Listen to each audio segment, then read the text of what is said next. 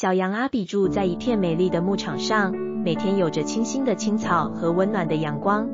阿比非常喜爱他的生活，但他总觉得生活中少了些什么。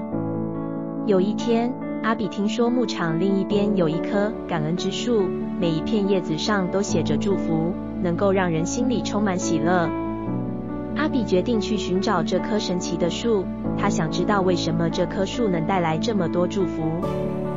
于是阿比展开了他的冒险。路上，他遇见了小鸟微微。微微在找寻食物，但没有找到，它饿得飞不动了。阿比想到自己带了些草，就分了一些给微微。微微感激地说：“阿比，你真是一只善良的小羊。感恩就是这样的祝福，当你分享，你的心就会满溢着爱。”阿比笑了笑，继续上路。他接着遇见了兔子多多，多多在森林里迷了路，无助地哭着。阿比用温柔的声音安慰多多，并陪着他走出森林。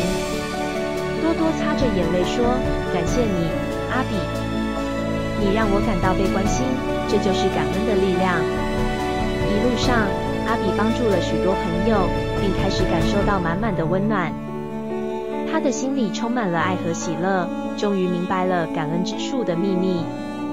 它并不是真的一棵树，而是一颗充满爱的心。只要心中有爱、有感恩，生活就会充满祝福。回到牧场后，阿比开始每天用感恩的心看待一切，无论是朋友的陪伴、每天的青草，还是温暖的阳光。他明白了，每一天都是神赐予的礼物，应该用感恩的心去珍惜。今天的故事就说到这里，希望小朋友们也能像小羊阿比一样，学会感恩。珍惜生活中的每一件小事。当我们带着感恩的心，生活就会更加美好。如果你喜欢这里的故事，记得订阅 Sweet Home 故事屋，按下小铃铛，整理好心情，整理好生活。下次见哟。